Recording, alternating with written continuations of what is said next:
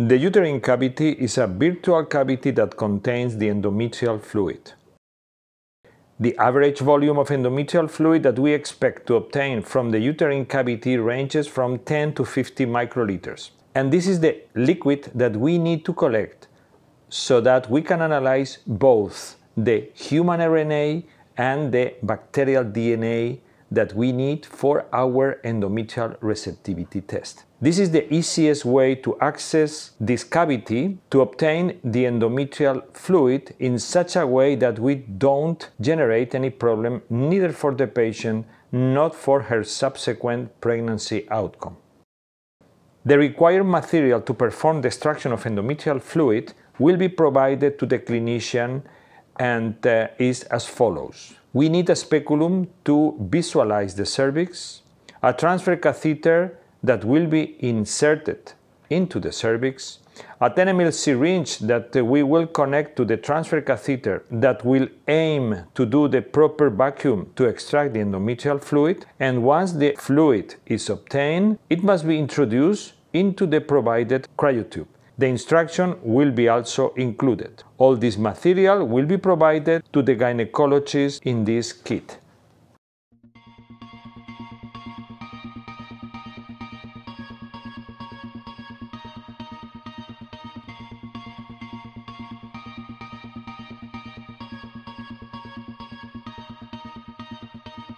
Introduce the speculum in the vagina. Cleanse the vagina with a dry cotton swab to eliminate any mucus or residual progesterone. Introduce the catheter into the vagina to enter the cervical os and go into the uterine cavity. In the introduction of the catheter into the vagina, it must be avoid any contact with the vaginal walls. Then it will enter through the cervical os to the uterus when it must be also avoided touching the uterine fundus or scratching the walls of the uterus. Once the catheter is introduced inside the uterine cavity, remove the mandrel or guide.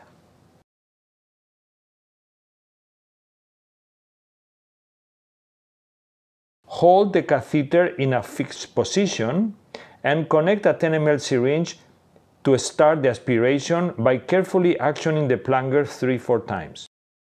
It is normal to feel negative pressure when actioning the plunger and also that the plungers come forward when aspiring. Holding the aspiration. Move the catheter outwards and stop suction at the entrance of the internal cervical os. At this moment the plunger will come back to its original position. Remove the catheter connected to the syringe, avoiding any contact with the vaginal walls. Clean the external surface of the catheter with a sterile gauze to eliminate cervical mucus. As the plunger is back to the original position, the syringe must be disconnected from the catheter to gather some air, discharging the liquid against the internal side of the tube.